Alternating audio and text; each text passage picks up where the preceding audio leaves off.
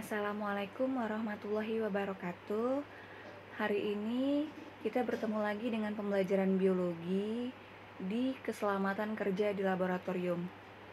Laboratorium SMA Negeri 34 Jakarta terdapat laboratorium biologi, fisika, dan kimia.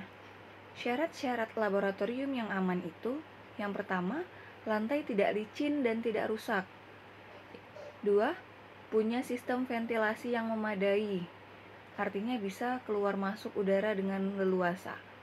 Tiga, punya alat pemadam kebakaran, itu sudah pasti jika ada alat ataupun bahan yang berusaha ataupun yang sifatnya meledak. Empat, punya pintu darurat, terhubung langsung dengan tangga darurat. Kalau ini pintu darurat kita hanya satu yang bisa terhubung ke fisika ataupun kimia. Kemudian ada meja kerja, itu pasti bangku kerja.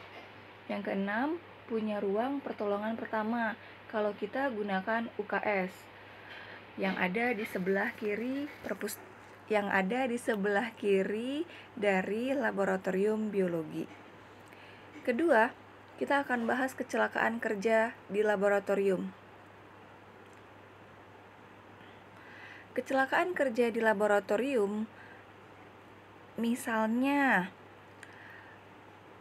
itu disebabkan karena yang pertama, kamu kurang memiliki pengetahuan tentang alat dan bahan yang digunakan.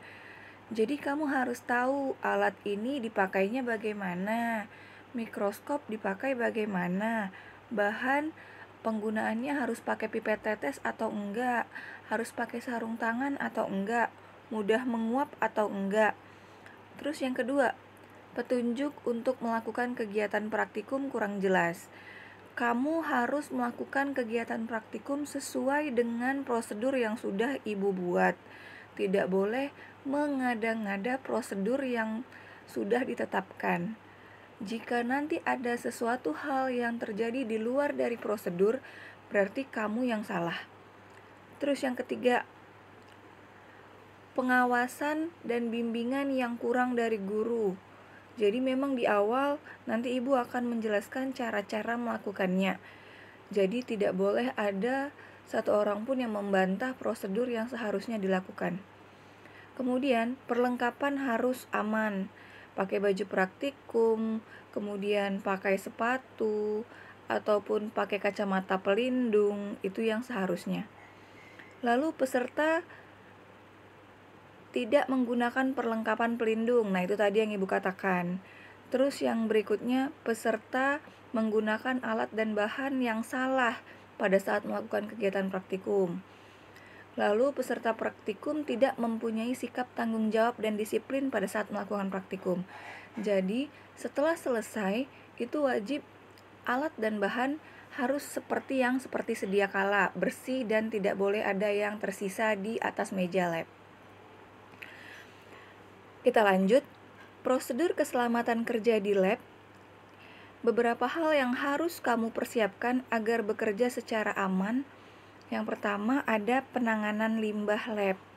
Ada yang boleh dibuang di wastafel, ada yang seharusnya dibuang di tong sampah, ada yang harusnya dibuang di data daratan tanah.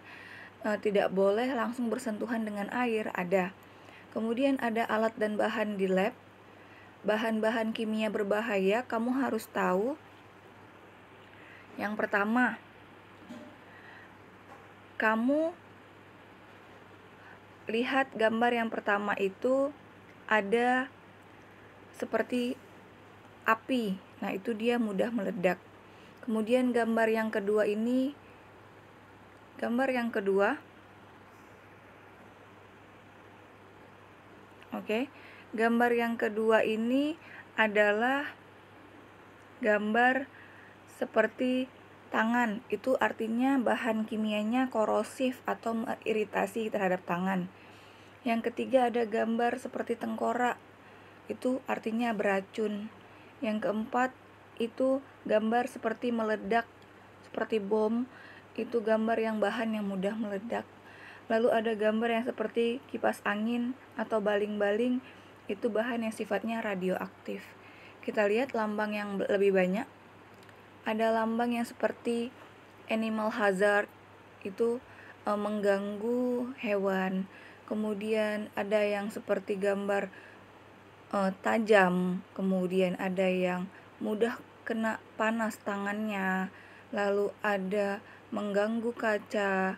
Berarti ada yang macam-macam.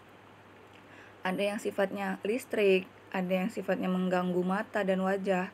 Jadi, ini semua bahan-bahan ini atau simbol-simbol ini ada di bahan kimia yang kita gunakan nanti di laboratorium. Berikutnya, pertolongan pertamanya. Pertolongan pertama ini kita harus mengetahui dasar-dasarnya dulu. Yang pertama, usahakan kita tidak panik namun bukan berarti kita jadi lambat kerjanya. Terus yang kedua, perhatikan pernafasan korban. Apabila pernafasannya terhenti, lakukan pernafasan buatan. Yang ketiga, jika korban mengalami pendarahan, hentikan pendarahannya.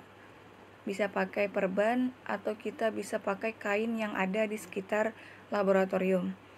Yang keempat, perhatikan kemungkinan korban mengalami syok ringan dan memperhatikan tanda-tanda syok usahakan uh, memberikan air minum atau memberikan aroma-aroma herbal seperti minyak kayu putih jika dia shock.